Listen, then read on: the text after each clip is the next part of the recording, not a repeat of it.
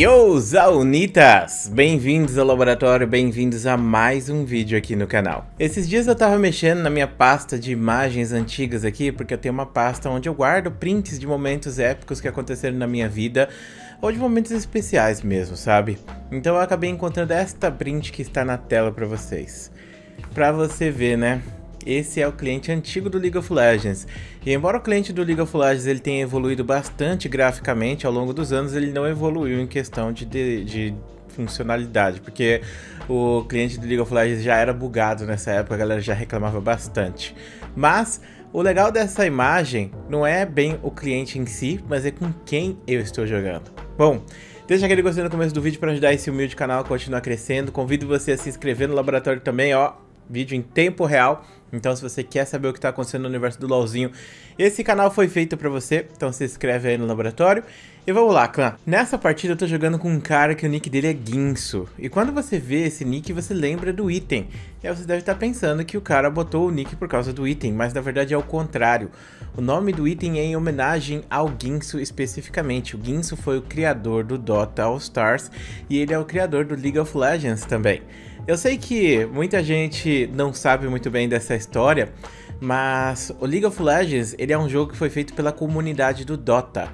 A comunidade do Dota, ela... Aliás, o Dota em si, ele era uma modificação. Então ele não foi feito por uma empresa, ele não foi feito pela Blizzard, ele não foi feito pela Riot, ele foi criado pela comunidade, por pessoas como eu e você, que gostavam de jogar e simplesmente tinham um pouco mais de conhecimento de programação. Então, eles foram lá, criaram esse mapa do Warcraft, ficaram balanceando ele por anos, criando novos personagens e fazendo com que esse se tornasse um jogo competitivo na época. Só que, por ser uma modificação do Warcraft, ele necessitava do Warcraft para rodar. E os caras que trabalhavam no Dota, eles acreditavam que o Dota podia se tornar um jogo standalone, ou seja, um jogo que fosse só ele mesmo, que não dependesse do Warcraft e assim eles poderiam lucrar, ganhar dinheiro em cima do trabalho que eles já tinham desenvolvido. E no caso, foi assim que surgiu a Riot Games. Esses jogadores e também é, desenvolvedores do Dota se uniram para criar o que a gente conhece hoje como o jogo mais jogado do mundo inteiro.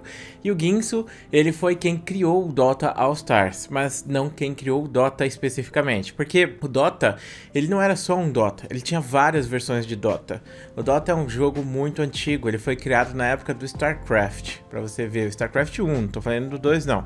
Então lá para 1990, 1900, 2000 e pouquinho, foi a época que surgiu um mod no StarCraft chamado Ion of Strife, que no caso foi o que deu base para um cara chamado EU criar essa versão de mod no Warcraft e que foi o que ele chamou de Dota e o que foi que criou se assim essa essa febre em cima de MOBA e coisa do tipo, né?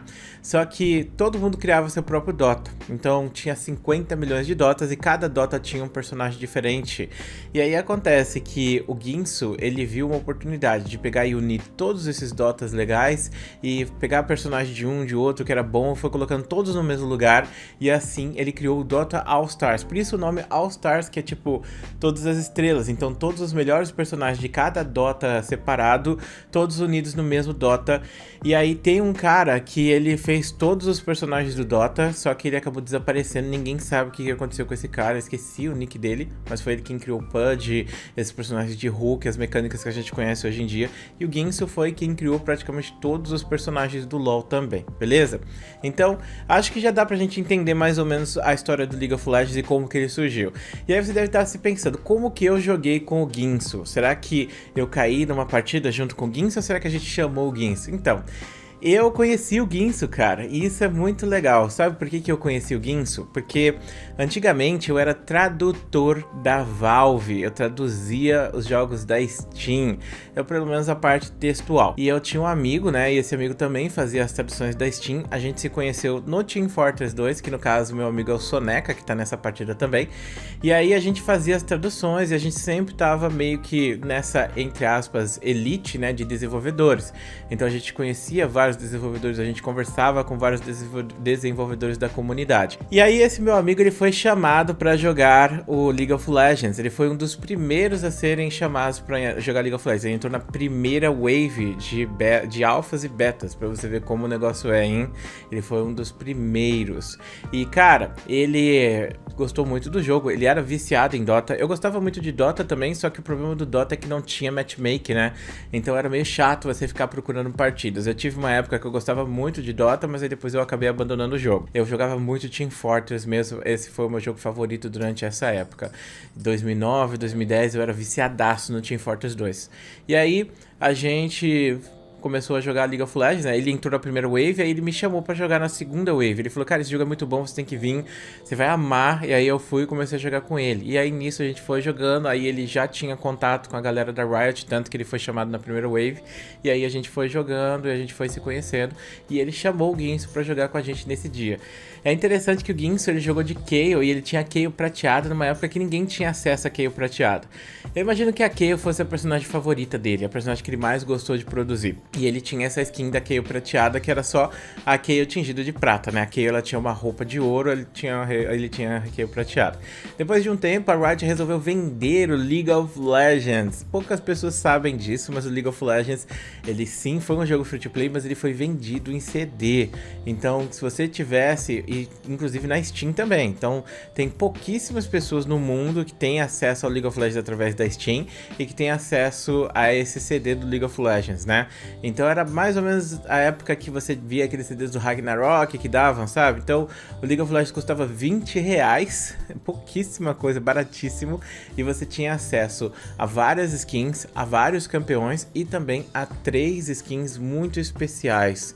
No caso, o Alistar escuro, o Alistar Acho que é Alistar Escuro o nome dele, não lembro o nome em português. Bom, o Black Alistar, o Rise Jovem e a Kayle Prateada. Se você tivesse comprado o jogo só do CD, você teria só o Rise Escuro e o Rise Jovem. Aliás, o Alistar Escuro e o Rise Jovem. Mas se você tivesse feito a pré-venda, você tinha acesso a Kayle Prateada também. Então, poucas pessoas têm a Kayle Prateada. Essa é provavelmente a skin mais rara da história do League of Legends. Talvez essa e a Twisted Fate Pax. Essas são duas skins que é muito difícil você ver alguém que possui elas. E elas têm um peso né, muito grande na história do League of Legends por causa disso tudo. E é muito legal poder ter feito parte dessa história, porque, como eu disse para vocês, eu conheci os desenvolvedores da Riot bem lá no comecinho, e foi muito bom ter interagido com eles, inclusive eles compartilhavam os meus vídeos. E aí você vai falar, ué, Dark, você tinha vídeo em 2009, 2010? Sim, eu tenho canal no YouTube desde 2007, só que eu tinha um canal em inglês. Demorou muito tempo até eu criar o laboratório de design e fazer ele como sendo um canal em português. Eu fui muito, por muito tempo, muitas pessoas falavam para mim, faz vídeo em português, faz vídeo em português, eu só fui criar o laboratório, acho que em 2014, alguma coisa assim, porque os meus amigos, eles ficavam falando o tempo inteiro para eu fazer um canal em português, para me criar esse conteúdo em português. E aí eu resolvi fazer junto com eles, né? A gente fazia roteiro, coisa do tipo, ia lançando os vídeos e o canal foi indo pra frente assim. Inclusive, meu canal antigo também é a mesma coisa, a diferença é que ele era em inglês, né? No caso, a gente jogava partidas, a gente se divertia, a gente pegava esses highlights e colocava lá. E teve um desses highlights que apareceu no client, que foi um da Tristana, né? Que o Blitzcrank dava um hook e ela ia pra PQP. E isso foi muito divertido de lembrar, saca? Porque o laboratório, ele não foi, ou meus outros canais do YouTube, não foram só é, a minha história ao longo dos com League of Legends, mas também as pessoas que passaram pela minha vida, as pessoas que eu amei, as pessoas que eu gostei muito de ter perto, as pessoas que, tipo, criaram eu da forma que eu sou hoje em dia, né? Os meus amigos, de certa forma, eles estão imortalizados, né? Sempre vão estar tá nesses vídeos, sempre vai estar tá aí esse, esses momentos felizes que a gente teve no passado. E foi assim que eu acabei jogando, né, com o criador do League of Legends. Aí você vai deve ter pensado, ué, mas e aí, ele carregou, ele jogava bem? Ele jogava bem, mas ele não jogava, caraca, ele é o melhor jogador do mundo, saca? Inclusive, o Ginsu, ele não carregou essa partida. A gente foi muito mal, tinha um caçadinho que estompou a gente, destroçou a gente, infelizmente. E aí foi por isso mesmo, né? E o cliente antigo era muito feio, ainda bem que a Riot fez uma atualização do cliente, meu amigo do céu. Ai, mano, que saudade. League of Legends antigamente ele era mais. Agora o League of Legends tornou um negócio muito impessoal, porque ele cresceu demais. Mas antigamente tinha muito essa pessoalidade. Por exemplo, o Morello, que era o desenvolvedor de, de balanceamento, ele virava meme, ele era conhecido. Agora o Mark e agora o Jevon, que são os dois que estão trabalhando no, labo no laboratório no League of Legends, eles não têm tanto mais essa pessoalidade que tinha antigamente, sabe? São equipes que trabalham, fazem as coisas, não é mais uma pessoa específica, uma pessoa especial que fazia toda a diferença. Se você for ver antigamente, você vai ver que o Gins ele criou uns 40, 50 campeões do League of Legends. É insano, né? Então é isso, claro. Inclusive, curiosidade rápida para vocês aí. O Ginso, ele colocou o nome do primeiro campeão de League of Legends de All Stars, que no caso é o Alistar, sacou? Alistar por causa do All Stars em homenagem ao Dota, que ele criou também. Aí você também vai falar, ué, mas e o Ice Frog? O Ice Frog não fez o Dota também? O Ice Frog ele fazia parte da comunidade junto com esses caras. Só que o Ice Frog, né, ele foi quem foi escolhido para continuar o projeto do Dota, entendeu? Então, eles pegaram todo mundo ali, foram para Riot e falaram: "Toma aí, Ice Frog, continua o projeto aí pra gente, beleza? Um grande beijo, um grande abraço". E o Ice Frog continuou por muito tempo até ser contratado pela, pela Valve, né, para fazer o Dota 2. O Ice Frog, eu não sei se ele ainda tá na Valve, mas ele se tornou o desenvolvedor principal daquele game, né? Bom, então é isso, clã. Muito obrigado por assistir esse vídeo até aqui. Muito obrigado por ser essa pessoa maravilhosa. Um grande beijo, um grande abraço. A gente se vê depois.